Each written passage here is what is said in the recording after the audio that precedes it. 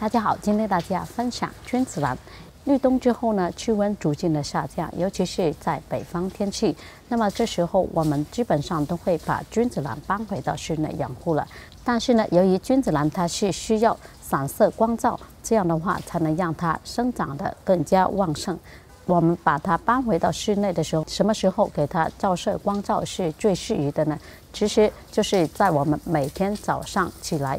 的时候呢，太阳升起来，我们就要把它照射光照。这些光照呢是比较柔和的，不会引起叶片被灼伤的现象。这样的话，我们的盆土里面的一些水分就会快速的蒸发掉，那么就不会引起根系腐烂的一个现象。还有一点呢，就是我们给它浇水的时候呢，一定要选择在中午的时候给它浇水，这时候气温还有水温。室温都比较相近的，我们给它浇水呢，就不会刺激到君子兰的根系。那么给它浇水的时候，这个自来水呢，我们给它加入一六。那么这一六呢，就是 UM 均盐度，只要一比一千的比例稀释水即可。把自来水调节好了，那么给它浇灌的同时呢，一次性把它浇透，这个土壤呢，它就会越来越疏松，而且呢，又可以分解出土壤里面的一些。